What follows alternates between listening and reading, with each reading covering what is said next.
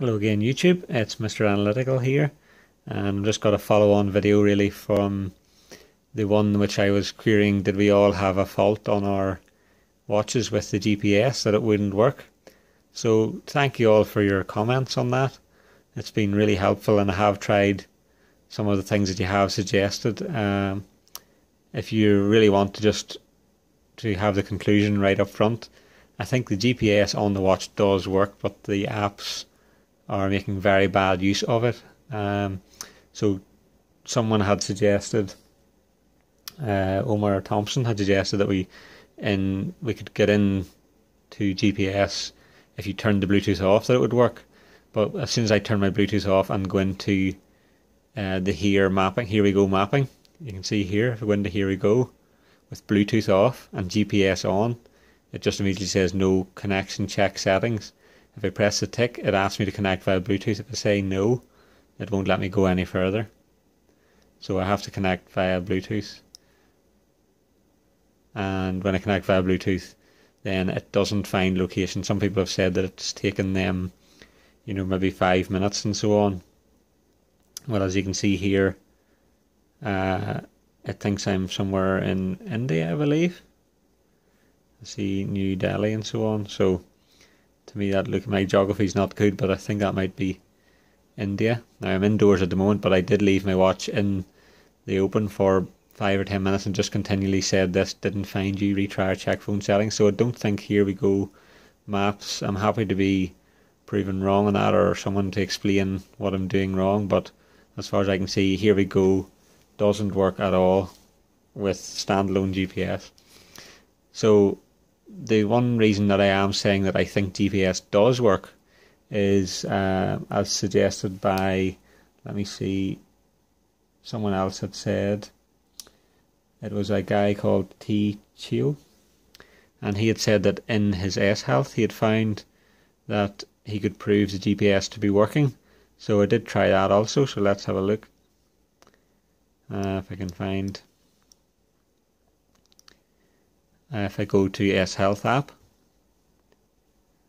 So you can all try this really if you if you're at the point where you think your GPS isn't working, you can try this simple experiment and it really I think it proves probably that GPS is actually working on the watches but it's just not working very well or and or it doesn't work with some of the apps. So what I done was you can go into your S Health and you can start a run or a walk and when you've that finished it'll show you a log. So I done that earlier on. So if you hit up on the man at the top it brings you into these settings. So you can set target and so on. But if you scroll right down to the bottom of this list it'll say view log.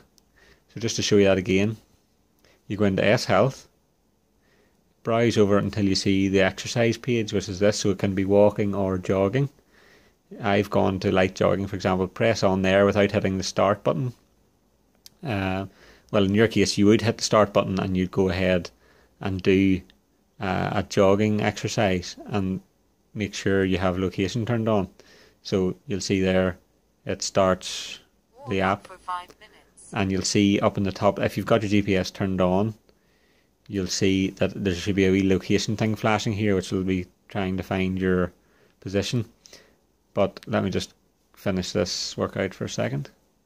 So yes so when you even you do this for five minutes and just you know even walk you know in a square, 100 meter square or whatever, doesn't have to be anything big. But then when you're finished, go into the app like this, and if you so you scroll right down to the bottom of that. So right down at the bottom, you'll see at the bottom there it says view log. So if you press on view log, it'll give your that's the one I just done as a demo there. But if I just go to the previous one for one minute, 15 seconds of running. So if you select your running or your walking exercise log and it'll take you through all the stats for that log. So you've got the time, the number of calories, the far you went and so on. Average speed, that was fast, wasn't it? 1.6 miles per hour. Cadence, heart rate. So you can see there, just a point on the way down, maximum heart rate 105. Well, that's impossible because I literally got out of the car and walked around in circles and got back in. So 105 beats per minute unless I'm pretty ill. I think it's a bit high, so it must have been just the watch bouncing about. So here's what I wanted to show you though. You can see here it has actually drawn a little map. So you can see it's like it did sort of track where I went. You can see I just came out and sort of walked around and back. So that's really interesting because that proves that the GPS is actually working. So while I was doing this run or this walkabout, it did track. Now it's on a, it does seem to have a map. You can see there. It's just obviously you can't zoom in or out on anything on that. But if you oh, if you want to do that and see if that doesn't work on your watch, then possibly GPS isn't working. But I'm still not 100% convinced that it's a true fault with the GPS hardware on the watch. I do really think that it's a, software issue, as you can see here. It's working on S Health, but it won't work in the navigation. So another example of an exercise is I done a walk also. So we just go over to the same place and go down to view log again. And we've got walking. And this was with Bluetooth on. Sorry, with Bluetooth off. So the phone or the watch was completely standalone. So there's no data available at this time. So I'll show you the difference that makes. So you can see this time we just have a map showing where we went and it's in little boxed a grid area but there's absolutely no street names or anything on there so there's no map on there so it's just a completely uh, in space on a white sheet your route that you took and another point to note is I actually started at and finished at the same place so my map should have ended up should have started here as well as ended here. But I think what happened was I went straight out from out indoors with the Bluetooth off and walked straight up here and then along down and back round. But what I think was happening, the little location icon on the top screen, like a wee pin marker, was flashing for a while, this first part of my walk. So I think it's been flashing along here and it's got a fix at where that white dot is. So it's taken that as my start location, even though I walked from the flag to the white dot. So it really, the map should really be up here across and then back. And so you can just really see there's a wee bit, because it took a while to find my location, it's lost part of the route. But apart from that, it does prove that the GPS is actually doing something. It is actually tracking. It mightn't be 100% accurate because this path, this line here, was actually the same footpath as there. So it should really end up and came back on the same path. But there's a wee bit of error in it, but it is working on the watch. The actual GPS hardware must be working.